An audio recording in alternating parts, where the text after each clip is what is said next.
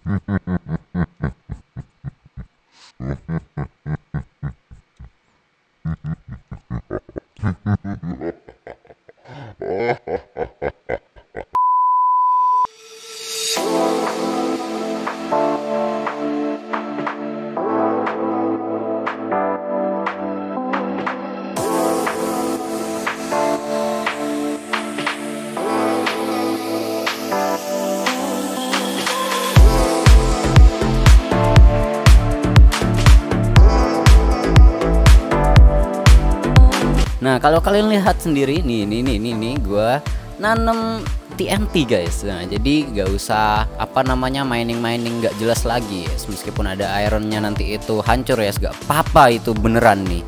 Nah, ini ini kalau kalian lihat nih, oh, kira-kira kalian bisa tebak sendiri ini akan jadi apa? Gua akan bikin sungai guys. Jadi uh, sungai yang kemarin itu karena terlalu jauh. Nah, makanya aku potong sungainya itu jadi lebih pendek dan juga kalau kalian tahu guys sungainya ini nanti akan gua bikin di bawah tanah guys. Jadi ini nanti akan aku tutupin lagi pakai uh, dirt dan ini juga akan jadi kayak jembatan gitu. Nah ini sungainya itu tembus ke ah jatuh Oke, sungainya itu tembus dari bentengnya Payudan. Uh, itu masuknya bisa lewat sini, guys. Jadi soalnya kalau cuman bentengnya itu cuman lingkaran kayak gini itu kurang. Jadi gimana kurang gimana gitu. Jadi aku greget tangannya itu pengen ngancurin Oh halo ikan Jadi aku ngancurin Aku hancurin aja Dan aku sambungin ke Sungai yang ada di sana guys Ini masih ada beberapa TNT guys Yang masih belum hancur. Nah ini dia. Hop. hancur hancur. Boom.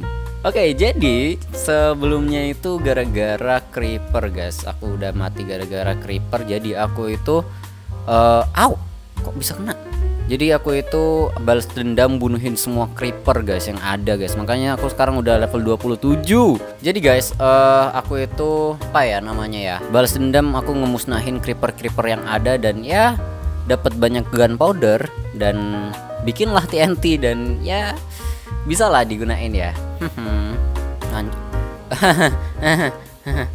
Asli ini tadi hancur loh guys. Gak apa gara-gara kurang ya TNT-nya kabur. Tidur. Oke uh, mana jalannya? Oh ini dia. Oke kita akan lanjut uh, meng apa ya? Memborbar membombardir yes. Membom nah, gimana sih bilangnya? Membombardir. Nah membombardir. Tuh dua tiga eh tidak udah hancur. Udah hancur. Ah! Oh enggak untung. Haha ah, ah, ah, nggak bisa lari nggak bisa lari nggak bisa lari. Oh untung. Selanjutnya gue akan bikin bucket. Bucket. Bucket? Hmm, bucket. Ya oke. Okay. nah pertanyaannya adalah gimana caranya airnya itu bisa ngalir? Nah kalian lihat itu ada triknya guys. Sebenarnya ada dua trik yang aku tahu. Nah di mana trik yang pertama itu kalian isi ini sesuai uh, levelnya guys. Jadi diisi kayak gini. Setelah udah nanti itu kalian tinggal dihancurkan aja ini dirtnya. Setelah kalian hancurin dirtnya Dia akan turun ke bawah airnya. Tenang tenang. Ini hasil dirtnya itu sudah banyak guys. Kita akan taruhin lagi di sini. Kita taruh lagi.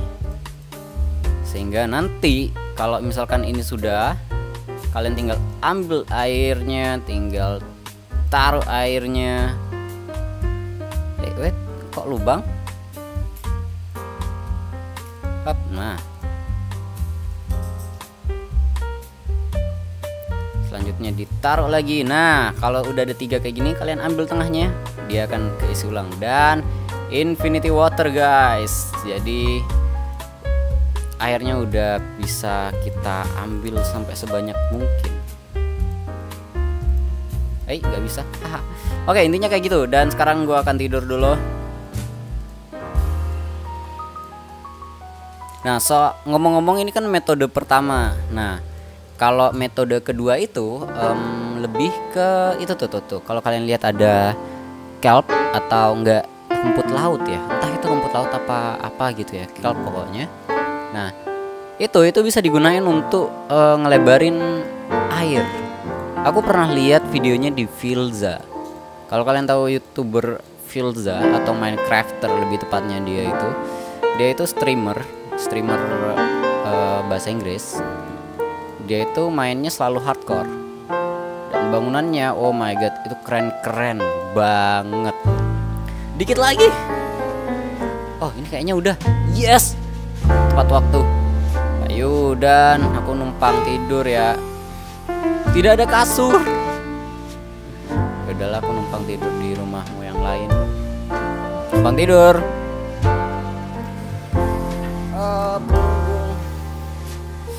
Oke, kalian bisa lihat kalau airnya itu ya ini masih belum jalan. Nanti kalau misalkan aku taruh air aja satu ember di sini akan melebar ke sana. Oh, yang ini lebih hijau.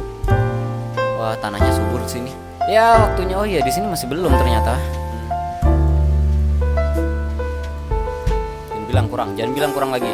Satu, dua, kurang satu. Gak apa-apa, gak apa-apa. Hap. Ah, belum ini. Hap. Hap. Yes, udah gelap. Yeay, waktunya bikin sovel. Kita Butuh banyak deh. Masih setengah perjalanan. Ah. Oke, bentar lagi guys. Yes. Done. Oh my god. Kayaknya kita tutupin dulu di bagian area rel dulu tidak hancur kena TNT.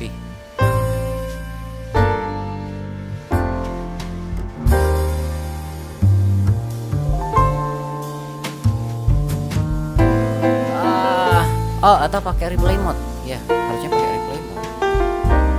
Oke, waktunya kalian nonton replay mode.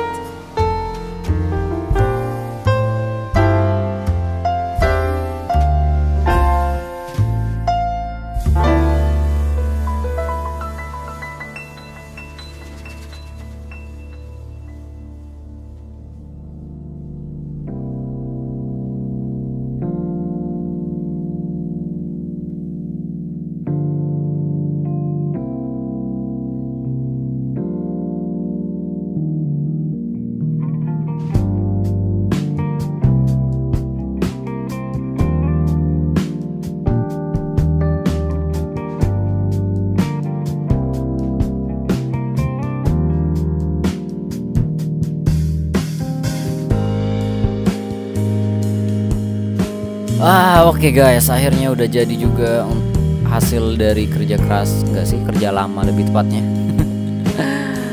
Oke, kita akan oh, kalian bisa lihat pemandangan dari rel. Lebih tepatnya ini kaki relnya sih yang sangat indah. Ini adalah eh, sungai bawah tanah. Oh, ada guanya, ada lorongnya. Dan ya aku lubangin sedikit karena butuh pencahayaan sebelumnya karena gelap banget di sini dan aku kasih kayu-kayu biar penyangganya itu biar terlihat kokoh dan juga sebagai sentuhan artistik. Oh, jadi keren gitu. Yap, dan ini tembus ke ini dia, tembus ke pintu gerbang dari kota Payudan. Oh, dan masih ada patungnya. Nah, jadi dari sini itu bisa lewat jalur air yang tadinya ada jalur kereta dan jalur daratnya sekarang ada jalur airnya. Karena aku lebih suka lewat jalur air gak tahu kenapa. Wow kita ngelihat lagi ada itu. Pemandangannya indah. Nah di sini ini mungkin kalian akan kaget bahwa yap di sini ada tembok guys ya. Aku yang bikin temboknya untuk eh, ke rumah. Rencananya nanti itu di sini itu bakal aku bikin untuk pertanian. Jadi ladang gandum dan berbagai macam hasil panen ya akan aku taruh di situ. Dan di samping sini itu ada pelabuhan ya ini pelabuhan pelabuhan sih ini cuman kayak apa ya? Gak jelas lah. Aku juga bikinnya gak ngerti. Nah nanti aku akan bikin lagi di sini tapi nanti itu di episode selanjutnya ya. Ini udah malam kita akan tidur dulu dan kita akan closing Oke guys, videonya sudah cukup sampai di sini doang dan kali ini gue akan uh, mengakhiri video kali ini aja. Mungkin sampai di sini aja dulu dan sampai jumpa. Dadah. Ingat 1000 like, salah 1000 views. Ah, oke. Okay.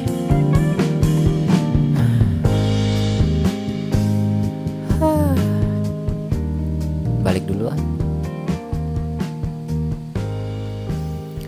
Masih bikin pertanian lagi ya